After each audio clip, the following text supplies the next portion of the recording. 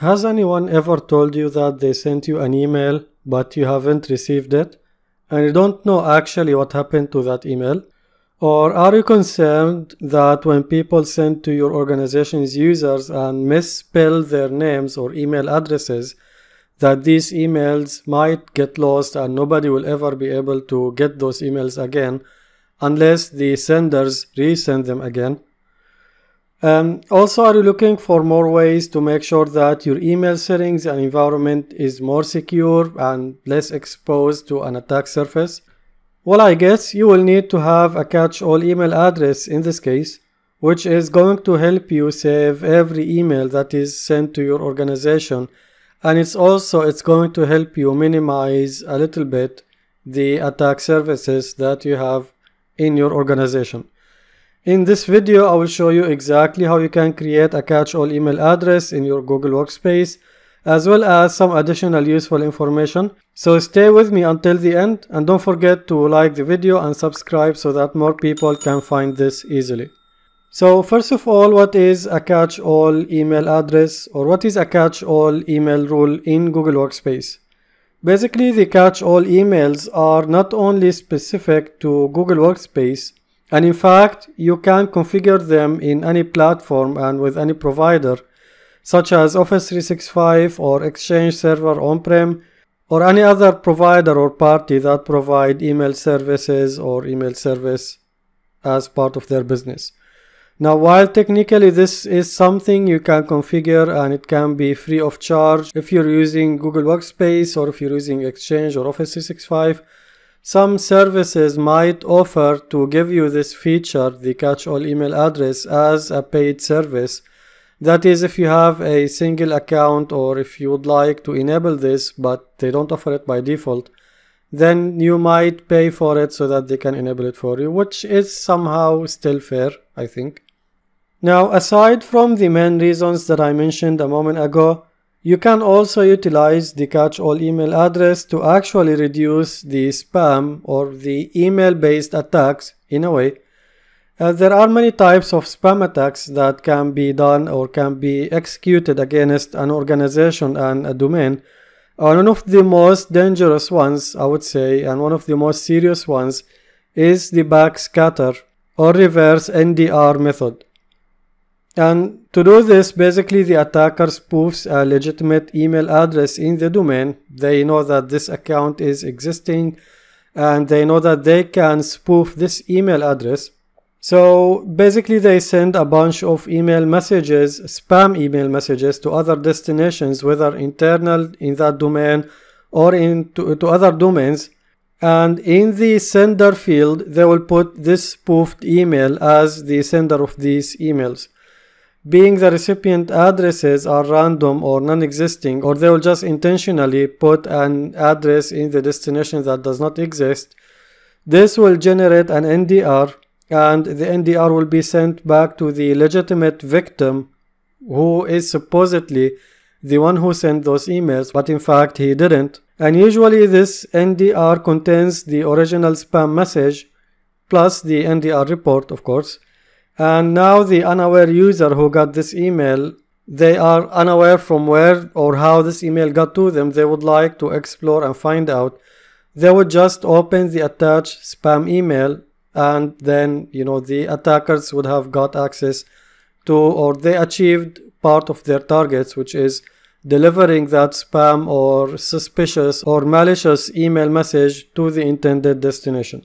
Now, this type of attack can be executed against an entire organization and at full scale, it will be large and it will target many users, a lot of users, and it will be a very serious issue for you to handle and worry about. So one of the ways to fix this is to disable the NDRs completely from your domain. Basically, not every email provider will allow you to disable the NDRs. You can do this in Office 365 and Exchange Server, but unfortunately you cannot do this in Google Workspace. So the other way for you to fix this or work around it is to create a catch-all email address and a catch-all email rule to examine each message received by the catch-all email or triggered by the catch-all rule that you will be creating. So if you want to create a catch-all email rule or a catch-all email address in your Google Workspace, you can do it in two ways. Of course, if you want to make it an actual account, then you have to create the user account or the mailbox before. You can use a group, I think as well, it will work, but you need a destination. And both of these methods are done from the settings of the Gmail interface. So if you go to the apps in the admin console, in the apps, you go to Google Workspace and you go to Gmail. I will be showing you now how you can do it with the two methods, starting with the default routing. So the default routing is the one that will affect the whole domain. It will not allow you to create exceptions or it will not allow you to, to scoop or anything. Of course, you can scoop through the affected addresses or the criteria, but then you need to do it through a regular expression, which is not a big thing actually. You can just do it easily. And to do this, you go to default routing. In the default routing, you go to add another rule. Then in the first point here, specify envelope recipients to match. You want to set it to all recipients. Now you can have any of these, of course, but then I want to create a catch-all rule. So you say all recipients. There is another thing that I would like to do and I like to do in every rule that I create which is add X-Gm-Original-To header so that I will know the original address that this email was sent to before it's being rewritten. And if you want to prepend a custom subject or anything then you can do it here but again it's up to you. Maybe you can do it like catch all or something you know just for you to know that this is a catch-all address or a catch-all email that was triggered by this rule. If you want I don't want to do this. Then the option that you want to select here is the envelope recipient change envelope recipient. And again it's up to your scenario here. So you can say replace a recipient. You can completely change the destination address you can actually also replace the username part, which is the one before the at, or replace the domain part if you have multiple domains in your Google Workspace. So for example, here we can do replace domain or actually replace recipient. And when I do something like this, now of course you should not do it to the admin. You should do it to a specific account that is dedicated for this. And once you set your account and once you set the recipient, you need to go to the bottom of this and make sure that you are selecting the perform this action only on non-recognized addresses. And the reason for this is you, you can use this as a way of split delivery as well if you're doing a migration or a project. So you need to route the emails that are addressed to people that are not on Google Workspace to other email destination or if you're doing dual delivery, then you will need to route the email to both destinations, the old email service that you're using, the legacy email service that you're using, and to Google Workspace. But in this case, in the case of catch-all address, we need to do it for all of the non-recognized addresses, and we need to do the replacement of the recipient or the envelope recipient. Once you do this, then you do save, and that's it the rule has been created. Now, if you want to do it from the email settings or from the Gmail routing settings, you need to go back to settings for Gmail. And if you scroll to the bottom, you will find the routing option. If you go inside, then you will see the default routing or just routing it's called here. So we need to add another rule. And again, you just do a default name. So I will do something like default catch all. And then we need to specify the direction of the email that will be affected by this rule. So we want to stop the emails that are coming to our domain whether internally or from the internet. And the reason we want to do this is if one of our users got attacked by this attack then part of the targets of this attack might be internal users as well or some addresses in our domain whether they exist or not. And if the email was sent from within the domain, then this will be considered an internal receiving and we need to affect it also by this rule.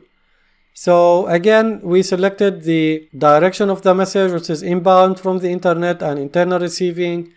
And then the action, we have the same options here. So we can add the X-Gm-Original-To, and we can also change the envelope recipient to whatever we want. And then if you go to the bottom, there is a very important option that you need to do. Otherwise, this rule will not be considered as a catch-all address or a catch-all rule which is in the show options, you have to select the unrecognized catch-all from the account types and you have to uncheck the users. So if you do this, then this rule will be triggered whenever any email message is sent to any address in the domain that does not exist, whether this address is a user address or a group address, but at the end, it will be just an unrecognized address and you need to tell Google Workspace to treat it or you need to tell this rule to process this type of email through this option.